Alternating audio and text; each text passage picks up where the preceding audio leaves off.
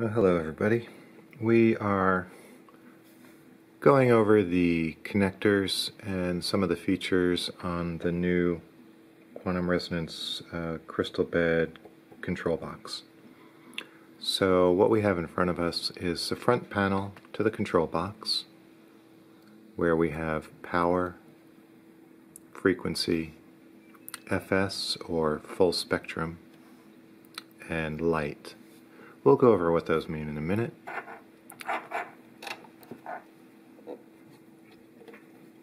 On the bottom of the unit, we have the power plug. We have a knob right down here. And this knob adjusts the crossover frequency for the vibration. And what that means is it allows more or less sound to go through. Not volume, but um, how much sound the transducers can hear. Um, we also have the shoe right here, which slides onto the tripod and locks it in place. Uh, some rubber feet. On the side of this box, we have the plug that plugs the lighting system in. Um, that comes from the light bar and it plugs in. We have the accessory port for frequencies. And what that means is if you're using an external PEMF device, like a Spooky 2 generator or a biomodulator or something along those lines, you can plug it in to this port and it will send those frequencies into the system. Now, our system already has a frequency generator, so you don't need to do that if you don't want to. Uh, here is a plug to plug in the transducers for vibration. Moving to the back, we have the volume knob for the, uh, the massage table, the vibrations, and then one for the headphones.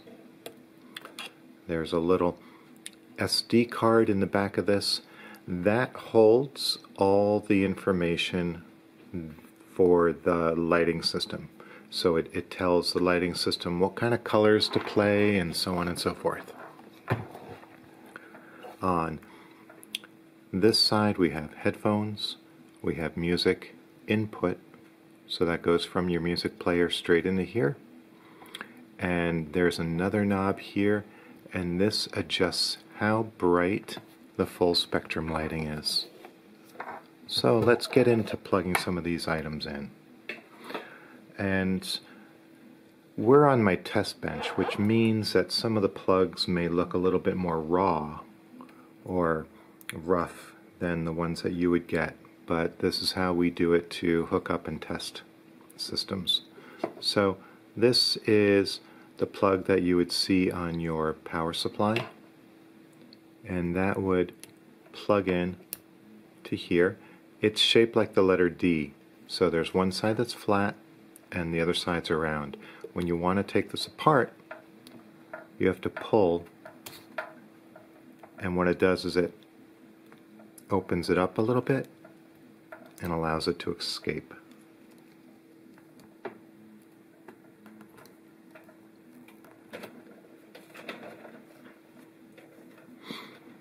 And um, we're going to keep plugging parts in as we go. This is one of my rough and ragged uh, accessories. So this would be for the light bar. Let's pretend it's the light bar. It plugs in place here. And for your light bar, it would snap in, and then there's a release button right there. We are also going to go ahead and plug in the accessory port as if we had the Spooky 2 generator hooked up.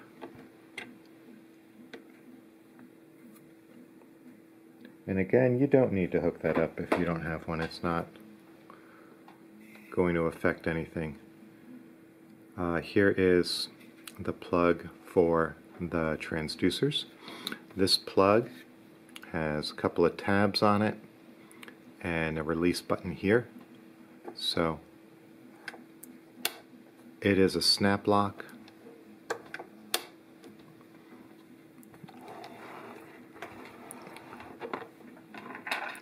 On the other side, we've got our headphone jack. And finally, the music player, and this has a super short cord on it for filming. And so that's everything that's plugged in right now. And we're going ahead and switch on the power. And here's our one Vogel holder. So when you switch on power, uh, this button is red, it does not glow or anything like that. So the only way to tell that your system is on and working is you're going to see lights flashing on the control on the light bar uh, what from lights and full spectrum. Uh, what we've opted to do on this setup is try to keep any kind of light that would um, turn on away from the client so they don't get distracted by accessory lights. Um, let's move over to the lighting system here. This is a simple on-off button. When you turn it on, the lighting system kicks on. Now, uh, on the top, we have four buttons. One of them says Pro. That changes the lights. Total of 15 different patterns and uh, they make more sense when you have all seven Vogel holders hooked up. But we're going to leave it on red right now since it's the easiest one to see while we're filming. We have a plus and minus up there and, and a set button. The set button puts whatever you're currently on in long-term memory so when you come back to the system after having it turned off it'll go straight to that. Let's move over to the next button FS is full spectrum. So the full spectrum is a combination of infrared and ultraviolet. And so kicking that on, it's a bright pink light that glows here. When we reach over to the right hand side, we had that long shaft knob. What that does is turns up or down the brightness. I'm just going to stick a cue card over that so we can see a little bit easier. Now, this button has three positions. The top one just is a steady on, middle is off, bottom is pulse. When we have music playing and we turn it to pulse, this is going to pulse. I'm going to get this to a spot where it's going to pulse madly for us. There we go. Now you can kind of see it pulsing. Yeah, there we go.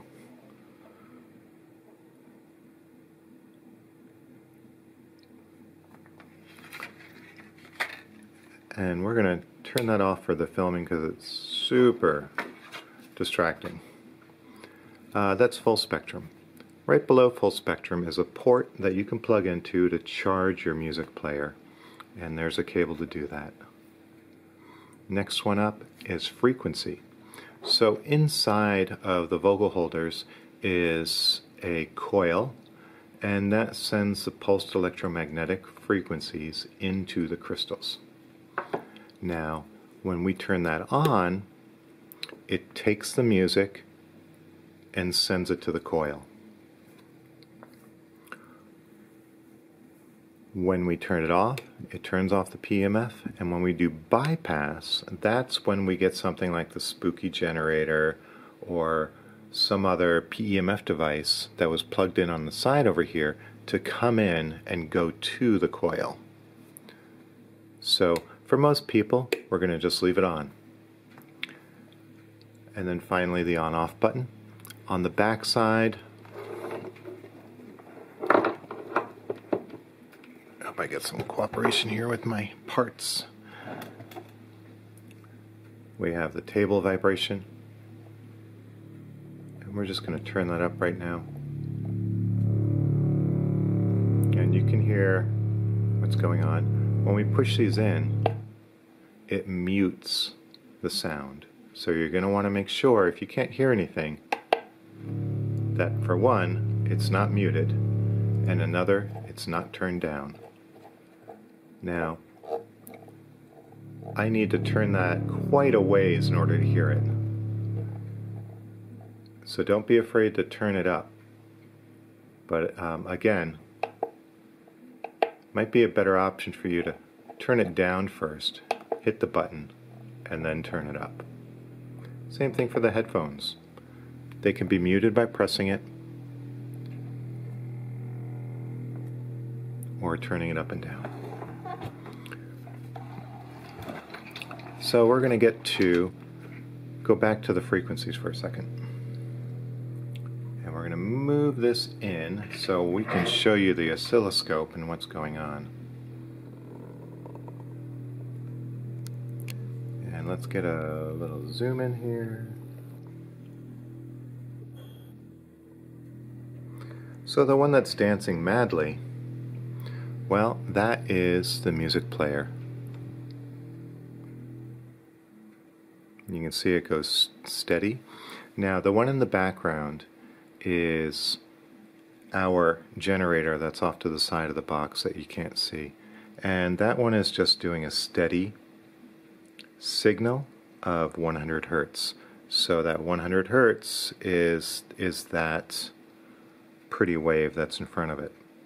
When we turn back on the music, we will see how those frequencies are dancing around.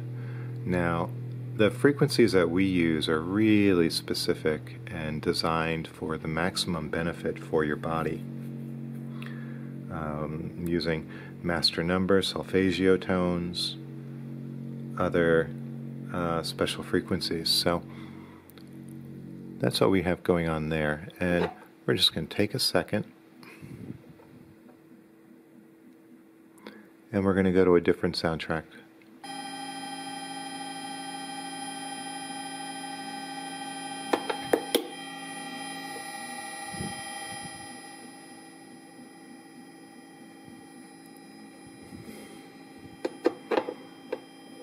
So, ooh boy, this one's terrible. One that we're going to play right now is 1 hertz through 1000 hertz. So you're going to see that sine wave start to get more intense as we keep talking, as it's working its way up the scale. And, um, this is one of the, the beneficial attributes of using the music player to send information into the PEMF device.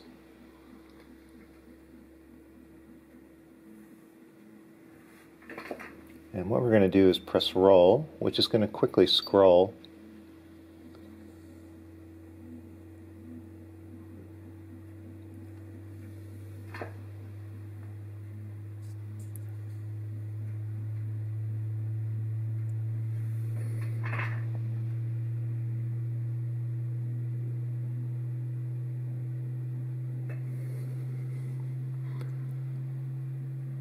So you can see the, the pink sine wave isn't doing anything, just sitting there. And yet the one with the music is becoming more intense as it's going through its variations. I'm going to hit auto setup, which is going to reset everything back to its original form for us to see. And we're going to take the pink one offline so you can just focus on the one that's going on here.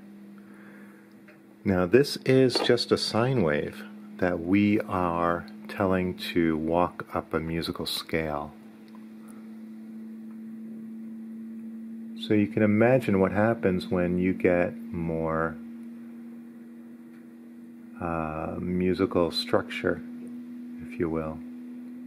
We're going to pull up one of our songs the quantum resonance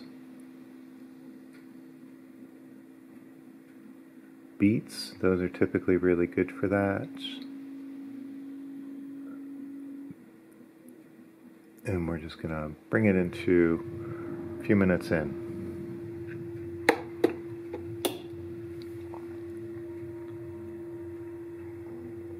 So there's a lot more information going on here.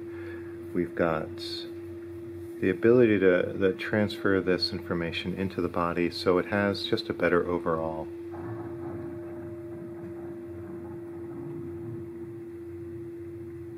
effect with the music. So there you have it, folks. Thanks so much.